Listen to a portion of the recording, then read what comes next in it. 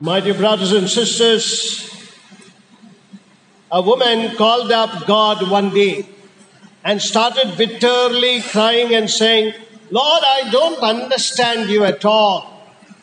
I don't know why I'm not able to understand you. And immediately God replied and said, Good madam, listen, I also don't understand you. I am unable to understand you. That makes us even. And then he hang up. Yes, my dear friends, sometimes we say this. I don't understand my God. I don't understand his ways. I don't understand why he does this to me. But we all still follow him. And this is what Jesus wants to tell you. You are in a world where you will fall into temptation and but still will be following me and I appreciate that. That is the greatest encouragement that He gives us. In spite of all our temptation, in spite of our falling into sin and coming back to Him and saying, Lord, I want to be your great follower, He accepts us as we are. Because He has chosen you.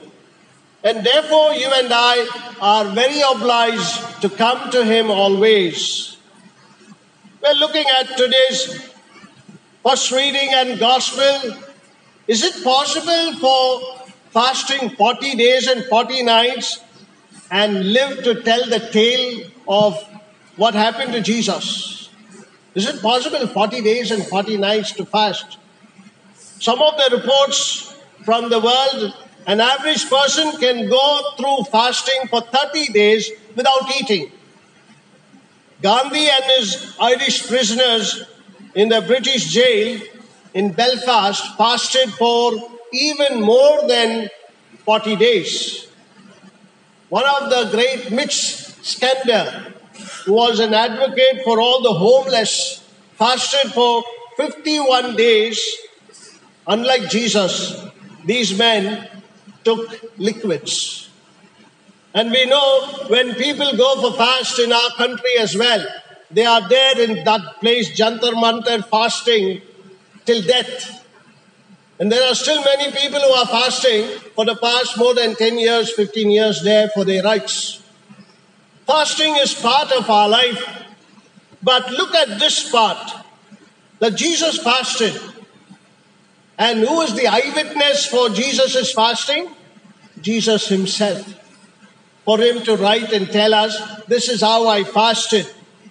God did not want Adam and Eve to be tempted.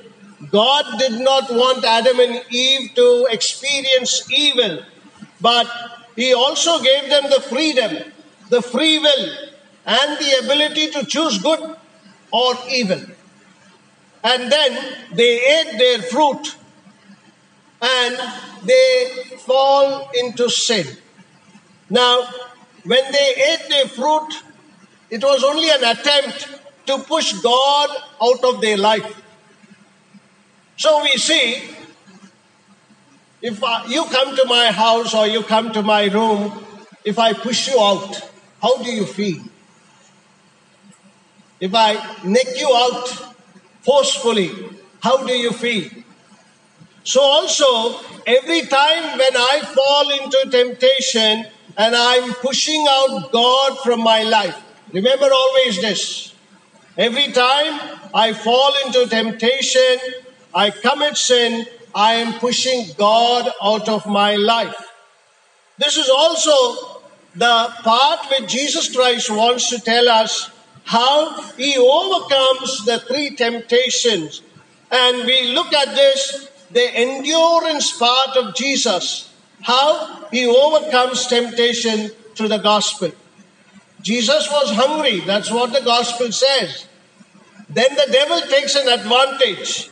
The devil comes to tempt him to pray to his father so that something may happen. But he doesn't tell the devil, doesn't tell Jesus, now you pray to your father, he will give you food. No. He wants to tell Jesus, change these rocks into bread and satisfy your hunger. Turn the rocks into bread. use the power of your Father that you have been given for yourself.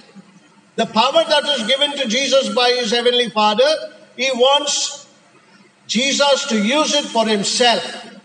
Now, this is that selfish thought of the Satan. Remember always this. The devil always come to tempt you on this part of being selfish. So also he says to Jesus, turn these rocks into bread. And that is why Jesus says, man does not live by bread alone. We are all tempted to that selfishness. We are tempted in such a way that we want to be always self centered. The second aspect that we see the temptation to endure. Throw yourself from the parapet of the temple. Your father will catch you when you fall, and you will not hurt yourself. What does this mean? This is to show the superiority of the father, that the father is superior than the son. A temptation to demand that the father is going to be in action. We want the father to be in action. We do this when we demand something from God. I want God to do this. Therefore, the Satan also is very cunning. He wants to see God the Father in action. Therefore, he said, Jump from here, God the Father will come and catch you. When we pray, also, my dear friends, we always say, God, if you don't do this, then I think you are not a God. God hears all our prayers. Remember this. And he knows when to say no, when to say yes. One of those great old country singer, Garth Brooks, sings this beautiful song. Thank God for unanswered prayers. Sometimes I thank God for unanswered prayers. Some of God's gifts are unanswered prayers. This is a beautiful song which says, Sometimes I thank God for the unanswered prayers. Some of God's greatest gifts are unanswered prayers.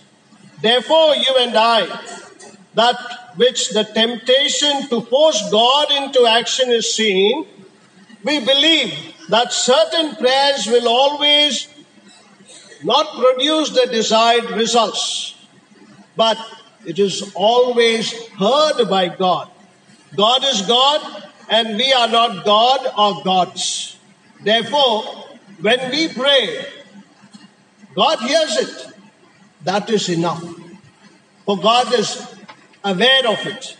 The third temptation that we see in today's gospel reading, where the devil takes him to a high place, shows all the beautiful kingdoms, and tells Jesus, Now you see the kingdom, now you see everything. Just look at that, worship me, and I'll give it to you. My dear friends, this is one important aspect. We all have accumulated possessions and power as though these gifts from God will make our lives very happy. We accumulate. We see that I want this, I want this, I want this. There is never ending wants in our lives. But look at Jesus. These kingdoms he seen, and he said to that Satan, Listen, you must worship the Lord your God, not worship all these material things. And he reminds each and every one of us the way of the world is the way of the devil. Think about it.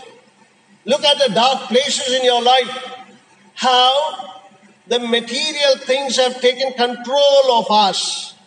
And we are not able to look at the divine things that God wants to present to us. That is the reason why, my dear friends, when the devil left Jesus, what happened?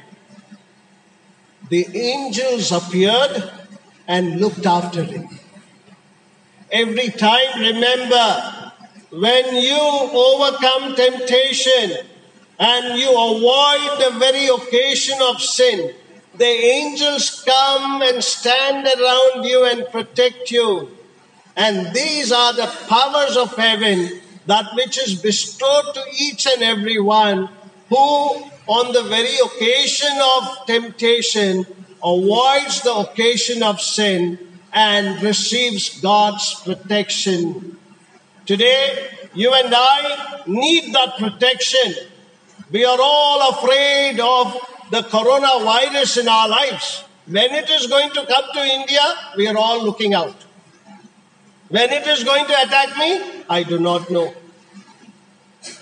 Therefore, when you come to receive the body and blood of Christ today, be sealed with the blood of Christ. For the Old Testament, we see how the blood of the lamb was put on the lintels, and whenever the wherever this blood of the lamb was put on the lintel, they were all protected. We have the new covenant here. Jesus' is very body and blood. Receive it and be protected so that when the coronavirus comes near you, it will not enter into you.